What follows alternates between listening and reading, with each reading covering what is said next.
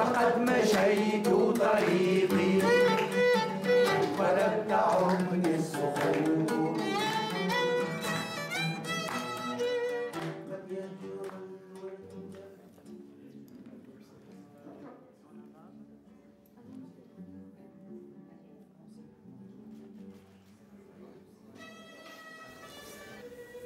So the, it's March 25, we are in Tunis, and uh, we are here to organize uh, for another workshop of the Popular University of Social Movements. Is the most uh, international uh, workshop that we ever organized because 16 countries are present here, and um, we are discussing as a general topic uh, the, the question of dignity. Why dignity? Because dignity is the general topic of the World Social Forum that will start uh, tomorrow here in Tunis. And uh, we thought it would be interesting to have a, general discussion within these UPMS on uh, the, uh, the question of dignity. In these two days of uh, work, a very intense debate, uh, we had plenary sessions and then we have sessions by groups. Um, initially, we uh, created small groups on uh, a random basis and uh, uh, then today we organize ourselves in groups by common consent. So four groups and we are going to have a glimpse about uh, you know the main ideas of each one of the four groups. And the four groups are the first one is uh, dignity, feminism and women issue. The second one is dignity, colonialism and post-colonialism. The third one is democracy, economy, land and biocultures. And the fourth one is dignity, democracy, participation and social movement.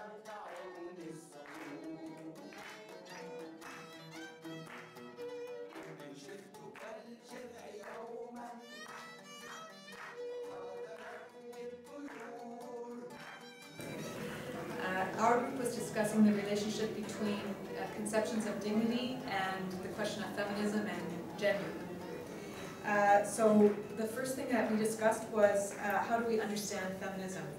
And we agreed that we have to understand feminism in the plural. It's always in the plural. But uh, at the heart of this understanding, uh, we need to put the question of the colonial and the question of the need to decolonize feminism and to recognize the uh, historical hegemony of Western feminism and how it has um, projected onto many other parts of the world and um, its assumptions about gender equality and particular kinds of relations between men and women, and that this has been a problem. Discutimos também que uh, os direitos humanos e das mulheres, o feminismo, é a questão da afirmação dos nossos, da nossa autonomia, da nossa integridade física, da nossa integridade individual, espiritual, emocional, de fazer ouvir as nossas vozes, de poder participar nos espaços públicos e ter também a participação nos espaços privados dos homens. There's also a big debate in our group about how uh, the legacy of feminism is also related to the legacy of modernity, and that this creates many problems. Uh, we have a critique of uh, possessive individualism, uh, but we also recognize the importance of rights uh, discourses in feminism importance of uh, relating to struggles around rights. But we have a big uh, critique of rights and that the paradigm of rights uh, is also a very limiting paradigm and uh, there is a need for feminisms to look beyond this paradigm and to look for alternatives beyond this paradigm. Paradigma dos direitos humanos uh, nos limita, limita a nossa abordagem de dignidade. A dignidade transcende este paradigma e nós mulheres lutamos neste caso por ter mais dignidade dentro do nosso contexto, integridade física em relação à violência que é praticada contra nós. Então, a centralidade dos direitos humanos é, uma, é, é um conceito uh, colonial e a questão da dignidade nos traz de volta para abordagem, olhando o ser humano, olhando a mulher no contexto específico, cultural eh, social que. Uh, we think feminism is central to the question of the vision of an alternative, that it carries a vision of an alternative uh, for the whole of humanity, not just for women, but for women and men. Um, and that central to this is the need for and the search for an alternative conception of power. And that even in uh, counter-hegemonic movements, the dominant conception of power continues to be a masculinist conception. Uh, central to the question of feminism also is a new ethic of care uh, and a new uh, political culture around care. Uh, we think that uh, it's very important to get uh, beyond the current dominant civilization to an alternative civilizational logic, beyond capitalist modernity. And feminism brings to this its opposition to racism, to ethnocentrism, to anthropocentrism, to homo economicus, and to heteronormativity. Uh, feminism uh, asserts the need for many new universalisms against the assertion of any one universalism. O feminismo traz crítica à masculinidade, questionamentos e a cultura de que o centro de tudo não é o homem, não é o masculino. Os nossos espaços reivindicamos e questionamos, demandamos que se questione como é que tem sido partilhado espaço para as mulheres, espaços públicos, espaços privados, incluindo o Fórum Social Mundial, incluindo as nossas sociedades, os nossos países. Há necessidade de se refletir sobre como é que este homem, esta masculinidade é construída sem fazer uma reflexão profunda sobre o espaço das mulheres.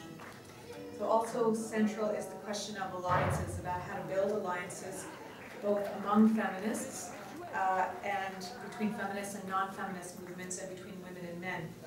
Um, we recognize there are many differences among us as feminists, um, but that feminism as a social movement has dealt most fully with the question of diversity and differences among us. Uh, but this remains uh, very difficult and we need a culture of generosity among us. Uh, and we also need to uh, cultivate this possibility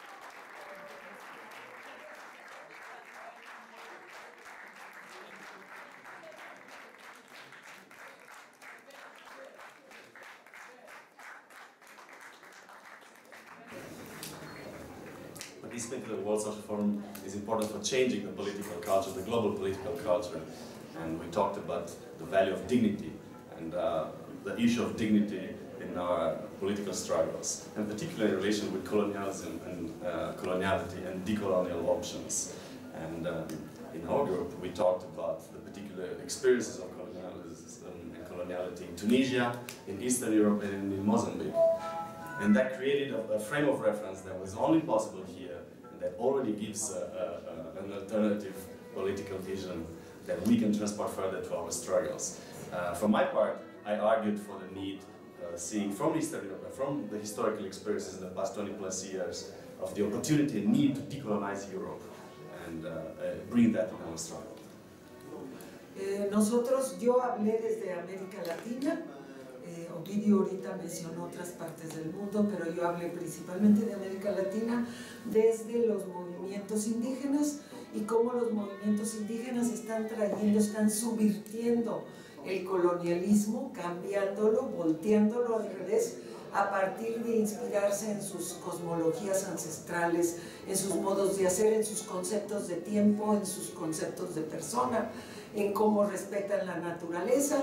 Y esa es para mí la más profunda descolonización posible, la que, la que viene desde las raíces de los pueblos originarios en América Latina. في ندوة الكرامة والاستعمار والاستعمار الجديد وعودة الاستعمار تحدثنا عن ضرورة تجاوز كل هذه المفاهيم القديمة والبحث انطلاقا من الثورة التي اندلعت في تونس وانطلقت إلى البلدان العربية الأخرى. بعد الربيع العربي إعادة النظر بعمق في المقاربات وفي تضامن الشعوب بعضها مع بعض من أجل خيال جديد. هذا الخيال الذي يجب أن ينطلق من تجارب كل شعب ومن واقع كل شعب نحو آفاق جديدة وخيال جديد.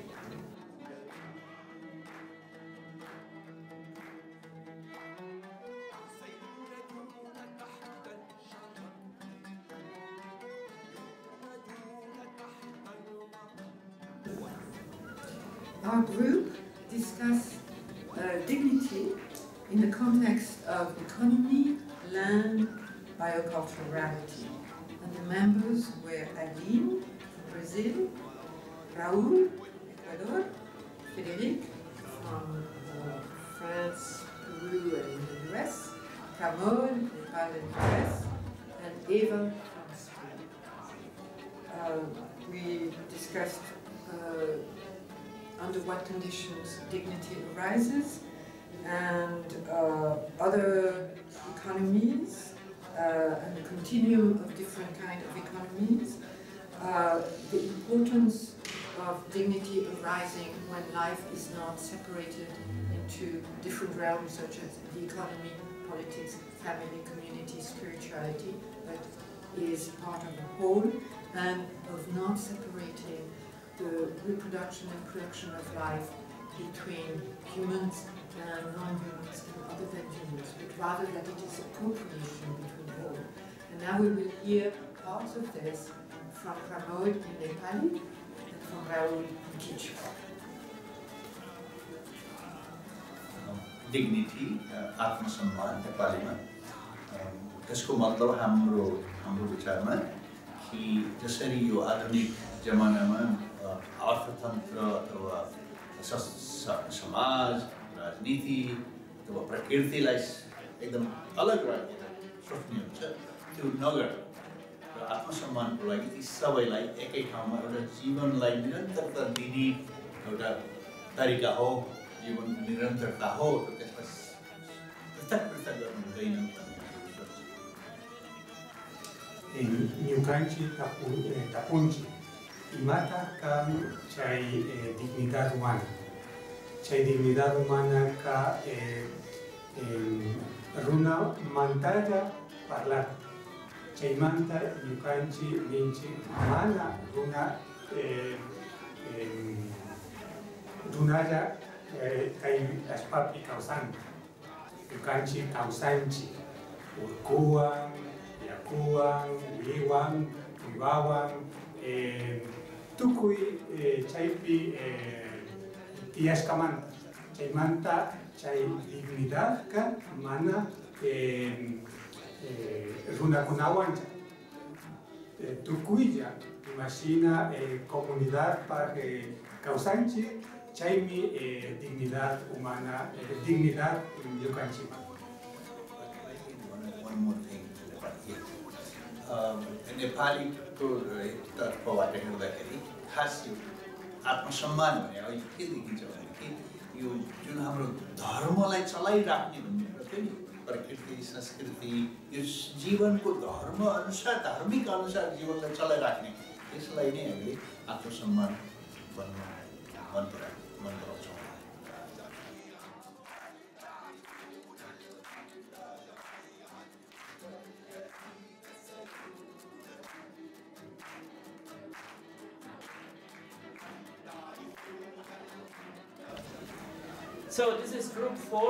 our focus was on uh, dignity, uh, democracy, participation, and social movements.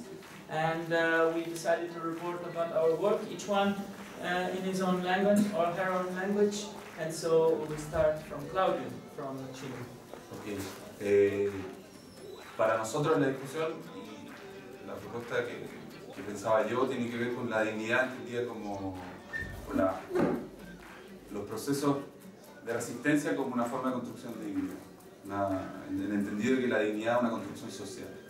Y eso eh, desde la perspectiva de que las resistencias, las diferentes resistencias, pueden llegar a ser eh, procesos de, de la construcción de esta dignidad y cómo desde la autonomía y la autogestión eh, podemos ir construyendo dignidad en la resistencia. Meu nome é Isabela, eu sou do Brasil e a mensagem que hoje a gente quer passar é: não é possível haver dignidade às custas da indignidade dos outros. E para construir um mundo em dignidade, um outro mundo possível em dignidade, a gente tem que democratizar a democracia, trazendo junto as diferentes perspectivas, ações e lutas pela dignidade. Meu nome é Boaventura uh, e neste grupo uh, pensei que uma das questões mais difíceis para a teoria democrática uh, que, pode, que pode ganhar exatamente com o conceito de dignidade é a ideia do papel da religião no espaço público. E quem diz religião diz também a questão da espiritualidade, a dimensão do transcendente, do imaterial dentro da vida, que é tão importante para as cosmovisões indígenas, como para muitos países que não seguiram o modelo ocidental da secularização. E, portanto, eu vou abordar este tema da relação da dignidade com a democracia, tendo em vista a questão da religião e da espiritualidade. Olá, sou José Manuel de Portugal. Uh, a mim, uh, que me interessou neste grupo e em discussão com todos é a questão do círculo da dignidade e a pertença. A quem pertencemos, ao que pertencemos e o que essas pertenças nos permitem fazer ou nos impedem de fazer.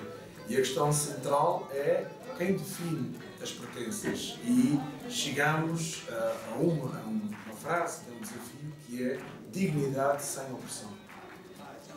Mein Name ist Micha und für mich ist wichtig, dass alle Menschen in Würde an gesellschaftlichen und politischen Leben teilnehmen können und dass wir uns in einer für sie, für ihre Gesellschaft angemessene Weise tun können. My name is Dhruv. Uh, I relate uh, dignity and democracy to violence, resistance, and suffering. A more deeper, loaded, and substantial meaning of dignity comes from the experiential use of suffering. And then in violence, self infliction or self immolation is already a claim to a dignity when a person thinks his, he's dignified when he's inflicting violence on himself or herself. And the resistance expresses itself in, uh, in many subjective forms through which we can see dignity in various diverse uh, expressions of resistance, which, which has a direct relation to dignity. mio nome è Cristiano, eh, per me eh, la cosa più interessante in questi due giorni di conversazioni sulla dignità ehm, è stata l'individuazione che la dignità è il dialogo, perché l'essere relazionale, quindi da questa relazionalità emerge che il dialogo è, eh, è fondamentale. E nella democrazia eh, dare dignità alla democrazia eh, significa espandere questo dialogo, mentre nella democrazia rappresentativa il dialogo eh, ha luogo soltanto nel momento delle elezioni, quando gli elettori sono sedotti eh, dai candidati per questioni di interesse, quindi del voto, eh, il concetto di democrazia per avere maggiore dignità eh, ha bisogno di, di, espandersi attraverso un dialogo che va al di là, che va al di là del momento delle, delle elezioni. E quindi ehm, la democrazia, una democrazia democratizzata è quella democrazia in cui eh, lo spazio di incontro e la condivisione del potere eh, è molto più ampia di quello cui siamo abituati eh, con la democrazia rappresentativa.